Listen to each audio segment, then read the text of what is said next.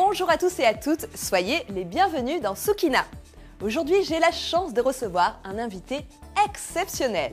Et qui dit invité exceptionnel dit événement exceptionnel. En effet, aujourd'hui, nous allons quitter les studios de l'émission pour nous plonger au cœur d'un festival consacré aux films d'horreur. Il s'agit de l'étrange festival dont la 17e édition s'est déroulée il y a quelques semaines au Forum des images à Paris.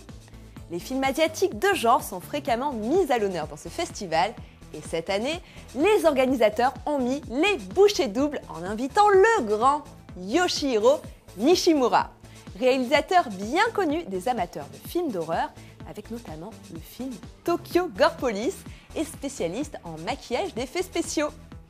Accompagné de la délicieuse Yumiko Hara, héroïne de son dernier film Driver, le dingo des tripailles à l'air a bien voulu répondre à quelques-unes de mes questions. Il revient sur son parcours et nous livre ses impressions à chaud. Voici l'interview de Yoshihiro Nishimura. Bonjour, euh, merci de nous accorder euh, un petit peu de temps. Est-ce que vous pouvez retracer votre parcours en quelques mots?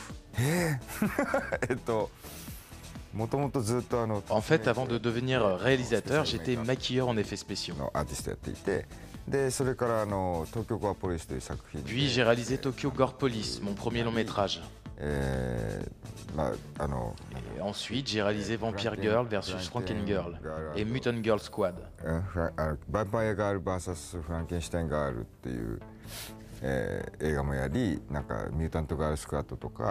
Et aujourd'hui, pour l'étrange festival, je présente mon dernier film qui est Driver.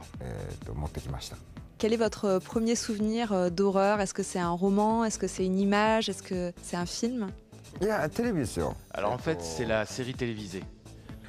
Et grâce à cela, j'ai découvert le genre horror. En fait, beaucoup de ces films sont interdits en diffusion télé au Japon. Mais quand j'étais à l'école primaire, il y avait encore pas mal de ce genre de programmes qui passaient. Il y avait un programme qui s'appelait Texas Chainsaw Massacre.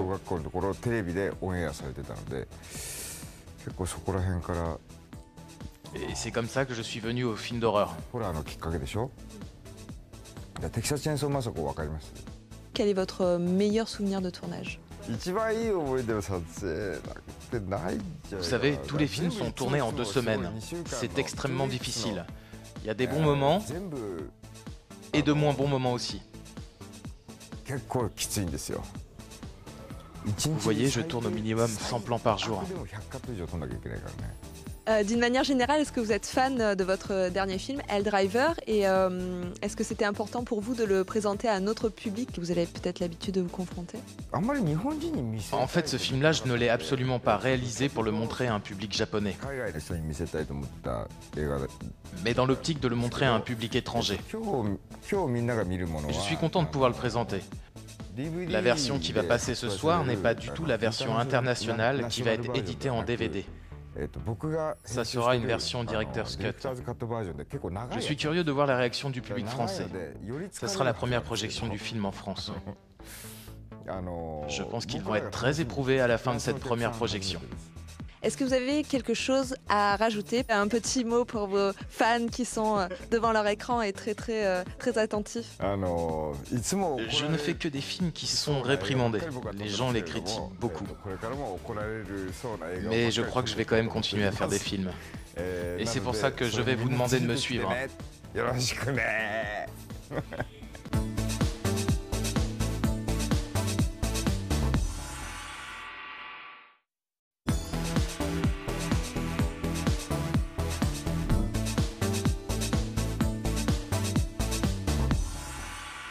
Bonjour à tous et à toutes, soyez les bienvenus dans Sukina. Aujourd'hui, j'ai la chance de recevoir un invité exceptionnel. Et qui dit invité exceptionnel dit événement exceptionnel. En effet, aujourd'hui, nous allons quitter les studios de l'émission pour nous plonger au cœur d'un festival consacré aux films d'horreur.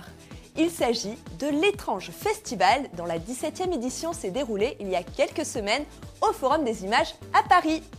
Les films asiatiques de genre sont fréquemment mis à l'honneur dans ce festival et cette année, les organisateurs ont mis les bouchées doubles en invitant le grand Yoshihiro Nishimura, réalisateur bien connu des amateurs de films d'horreur, avec notamment le film Tokyo Gore Police et spécialiste en maquillage d'effets spéciaux. Accompagné de la délicieuse Yumiko Hara, héroïne de son dernier film Driver, le dingo des tripailles à l'air a bien voulu répondre à quelques-unes de mes questions. Il revient sur son parcours et nous livre ses impressions à chaud. Voici l'interview de Yoshihiro Nishimura. Bonjour, euh, merci de nous accorder euh, un petit peu de temps. Est-ce que vous pouvez retracer votre parcours en quelques mots? En fait, avant de devenir réalisateur, j'étais maquilleur en effets spéciaux. Puis j'ai réalisé Tokyo Gore Police, mon premier long métrage? Et ensuite, j'ai réalisé Vampire Girl versus Franken Girl et Mutant Girl Squad.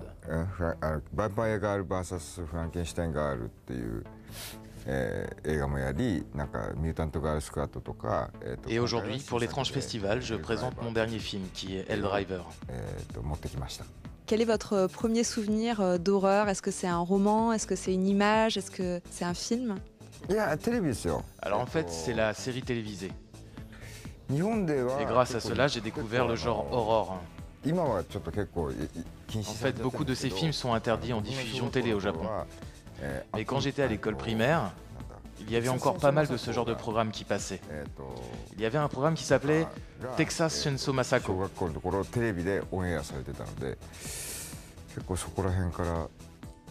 Et c'est comme ça que je suis venu au film d'horreur. Quel est votre meilleur souvenir de tournage?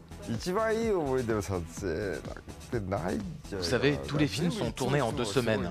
C'est extrêmement difficile. Il y a des bons moments et de moins bons moments aussi. Vous voyez, je tourne au minimum 100 plans par jour.